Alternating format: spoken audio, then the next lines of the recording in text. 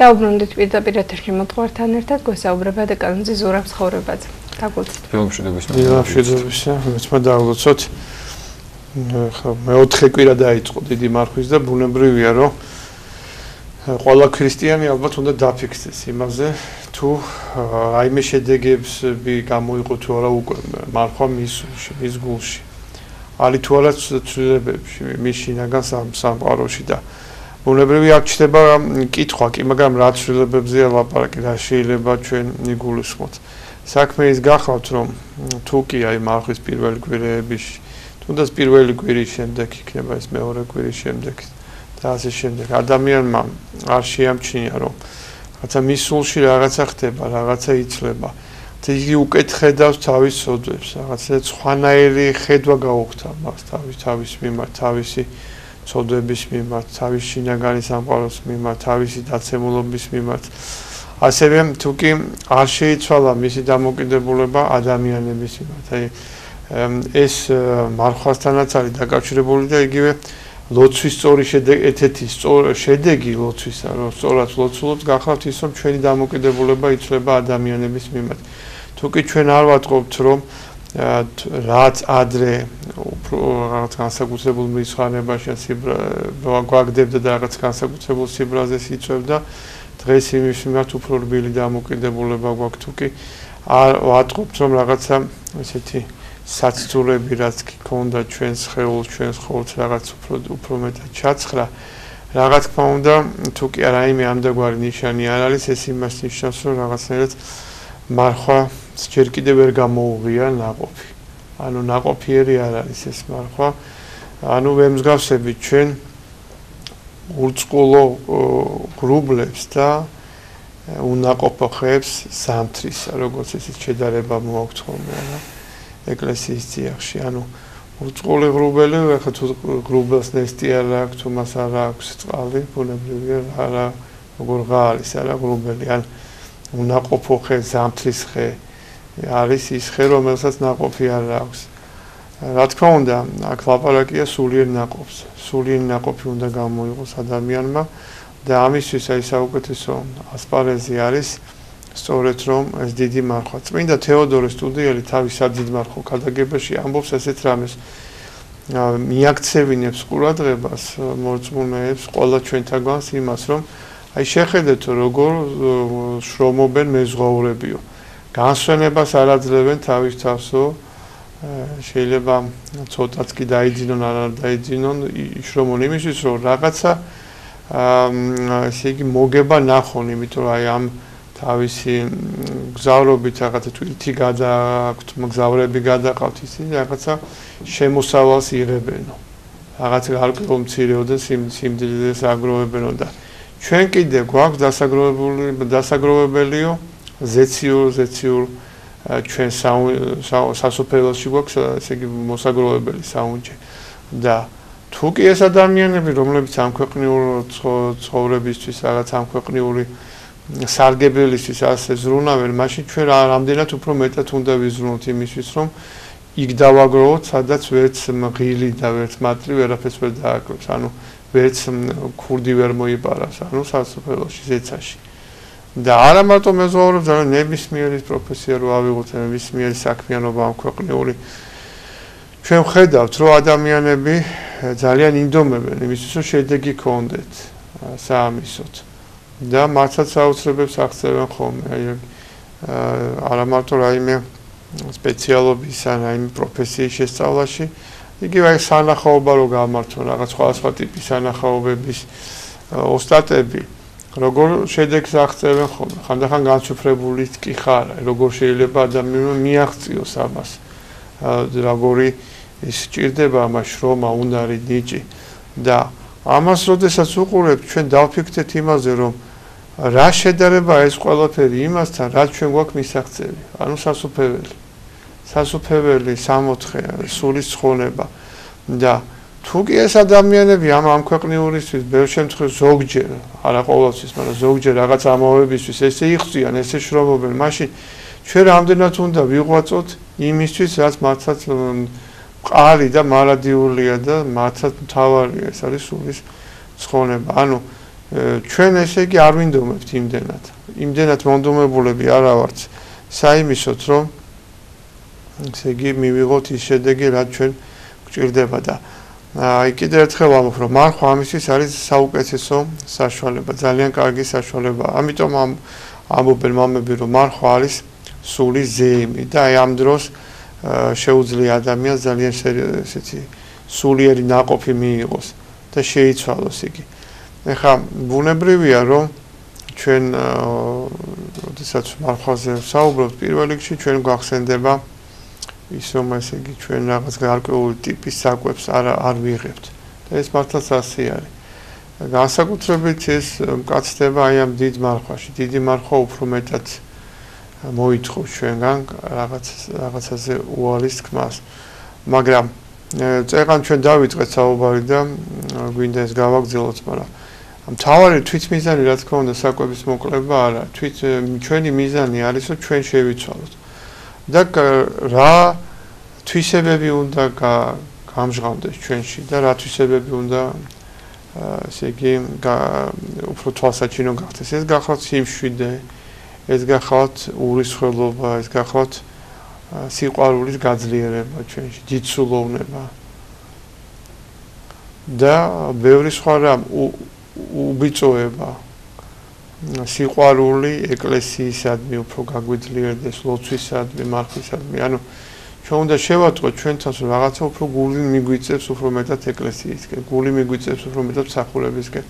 უფრო მეტად გვაინტერესებს წმინდა წერილის კითხვა, წმინდა მამათა ნაწერების კითხვა, ვიდრე სხვა რაღაცა. აი ეს ნიშნები უნდა იყოს ჩვენ სულში, უნდა იგზნობოდეს ჩვენ სულში.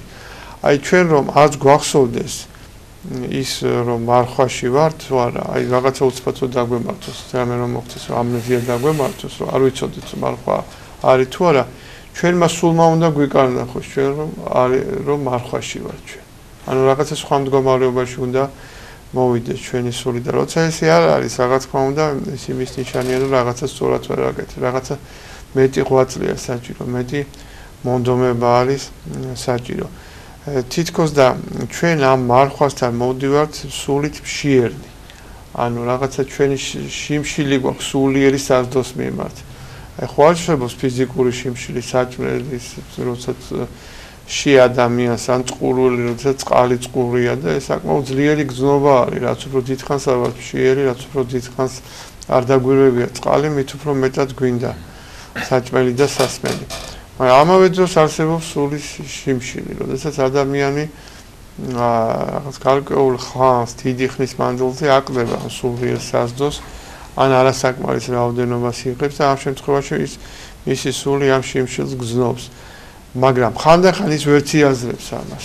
ვერ ციაზრებს მას, რაღაცა აწუხებს, რაღაცა აკლია. რაღაცას ვერ ავსებს იგი თავის სულში. და შეიძლება ვერ ციაზრებდეს ამას, მაგრამ აი თუ კი ჩაოფიქდება, თუ კი უფალს თხოვს, როგორება გაუხსნას, იგი მიხვდება მე რომ ეს არის სწორედ მისი სულის შიმშილი. ანუ სული სულს ჭირდება სულიერი საზდო სულს ჭირდება ეს შეწევნა. და ის ადამიანები, რომლებიც ახერხებდნენ იმას, რომ მუდმივად ესე იგი იფსებდნენ აბსოლუტურ შიფშილის გზნობას, ანუ მუდმივად ღვაწში იყვნენ, მუდმივად შრომაში იყვნენ, დიდ ძალასაც იძენდნენ ღვთის წინაშე. აი მაგალითად ჩვენ გაგვახსენდება ესეთი მაგალითი წმინდა ტრიფონისა. რომელმაც საოცარი რაღაც გააკეთა, მან გააკურნა მეფის ასული, რომელიც იყო შეპრობილი. ეს ვერავი ვერ მოახერხა მისი განკურნება წმინდა ტრიფონის გარდა. და შემდეგ აა წმინდა ტრიფონი ღვთის დაშვებით და იმ წარმართების განსასწავლად, რომლებიც ამას უყურებდნენ, ის აიძულებს ბოროძალასო ილაპარაკოს და აღიაროს თუ რატო მოხდა ეს და როგორ მოხდა ეს. და მათ შორის ეს ბოროტის სული ამბობს ძალიან მნიშვნელოვან რამეს. ის აღნიშნავს რომ ჩვენ ვერ ვეკარებით იმ ადამიანებს რომლებიც რომლისათვის არის რომლებიც აღიარებენ ღმერთად ყოვლადწმინდა სამებას უფალს ჩვენსაც იესო ქრისტეს რომლებიც მოწმუნეები არიან, მაზიარებლები არიან, ლოცველები არიან. ამათ ჩვენ ვერ ვერ ვეკალებით, ხოლო ხანდახან რაღაცა უფლის დაშვები თუ ისიც, ანუ თავისი ძალა არა, თავისი იგი თუ უფალმა არ დაუშვა, ვერაფერსაც ვერ გააკეთებს მოროდი, ხო? ხანდახან უფლის დაშვები თუ გარკვეულ საცტური შეიძლება მათ ესე იგი შევამთხიოთ. მაგრამ ის ადამიანები კი, რომლებიც ჩვენებას ასრულებენ და მე ჩამოწვის იგი რა ნება არის, ეს არის შური, ეს არის ღვაწლი, ეს არის შურის მაძიებლობა. ეს არის დახსომება ბოროტისა, ეს არის სიძვა, ეს არის ლანძღვა, გინება, კრეხელობა და ასე შემდეგ. ამპარტავნება ცოდვათა დედა. არა? ყველაფერი ამას ვინც ასრულებს, არა, იმაზე უკვე ჩვენზე გავლენა უფრო მეტი გვაქვს. უფრო მეტად შეგვიძლიათ ეს ხალხი ხელში მოვიგდოთ და ამ ხალხს ეს გავლენა მოვახდინოთ. ასე რომ რაღა თქმა უნდა, საჭურველი ჩვენი არის ფარი ჩვენი არის სწორედ რომ ეკლესიური ცხოვრება. აი ჩვენ გულში ნაღვნიშნეთ ჯვრის თაყვანისცემა. ჯვრის თაყვანისცემის დღესასწაული და ჯვარზე მეტი ფარველი ჩვენ აი რა არის ჩვენთვის ჯვარზე მეტი ფარველი? მართლაც არა საოცარი ფარველობა აქვს ჯვარს და ჯვარზე შეიმოსა ეშმაკი და ბუნებრივია ეს არის მოსაგონარი სწორედ ეშმაკზე გამარჯვებისა.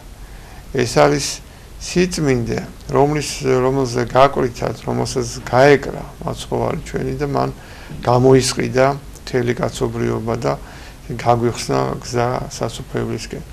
და როგორ შეიძლება რომ ადამიანი აი ამ ხელა სიწმინდეს არ იყენებდეს იქ და პირჯვას არ გამოისახავდეს, რომ არ ატარებდეს გულსაკით ჯვარს, რომ არ ემთხეოდეს ჯვარს, ჯვარს მას არ ემთხეოდეს და არ იყოს ესე იგი არ კონდეს მას სასწოება და იმედი ჯრის. ამას იმიტომ ვამბობთ რომ არიან ახლა ისეთი ადამიანები სხვა რელიგიური მიმდინარეობების წევრები, სექტანტები, რომლებიც ჯვარს არ არ აღიარებენ. არამ თუ არ აღიარებენ, უარყოფენ კიდევაც. ზულტ კიდევაც მათ ჯვარი და არც უყვართ. ისინი ამბობენ ასეთ რამეს. კი, მაგრამ როგორ შეიძლება ჩვენ შევიყვაროთ ჯვარი? როგორ შეიძლება ჩვენ გულშევიკეთო ჯვარი თუ კი მასზე იესო მაცხოვარი გააგრეს ეს ხო წამების იარაღია ეს ხო სიკვდილის იარაღია და ამიტომ ჩვენ არ ვატარებ ჯვარს მაგრამ მათ არიციან ან ავიწყდებათ ან განზრახი ვიწყებენ იმას რომ ჯვარი არის ჩვენი გამოხსნის საშუალება ჩვენი გამო გამოგვიხსნა უფალმა ჯვარზე გააკვრით და ეშმაკს ეშინია ჯვრის აი მრავალი მაგალითებიც არის კიდეც უხილავთ სულიერი თვალი რო გახსნიათ ადამიანებს უხილავთ როგორ ეშინიათ ეშმაკებს ჯვრის გამოსახვისა როდესაც ადამიანი გამოისახავს ჯვარს ისინი შორდებიან აი თითქოს ვერ ეკარებიან ან გადასახავს ჯვარს ადამიანი ან სასულიერო პირი ან ზერისკაციან სასულიერო პირი ისინი განეშორებიან ხოლმე ეკაურობას და ეს იმიტომ რომ მათ ძალიან კარგად იციან რა მოხდა ჯვარზე. ზოგიერთ ადამიანმა დაივიწყა, მაგრამ მათ არ დავიწყებია, ჩვენზე რა მოხდა და ამიტომ ჯვრის შიში აქვს და თუ კი ბოლო ძალს ბოლო ბოლო ძალას აქვს ჯვრის შიში, ჩვენ რატო არ უნდა გქონდეს ჯვრის სიყვარული, რომელიც ჩვენი ფარველია და ჩვენი დამცველია. და ეს მარხვა, ეს დიდი მარხვა სწორედ რომ ეს აღდგომის წინა მარხვა არის. და ჩვენ ვემზადებით აი ამ დღესასწაულისათვის როგორც არის აღდგომა, მაგრამ ამავე დროს ჩვენ სანამ მივალთ აღდგომამდე, უნდა გავიაროთ ეს ჯვარცმა და გოლგოთა.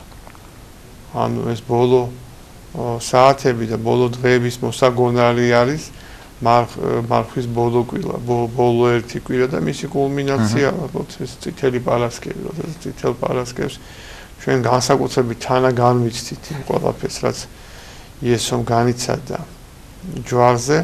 და მაგრამ იქვე ჩვენ სულში და გულში არის იმედი იმისა, რომ აა ახლოს არის აღდგომა.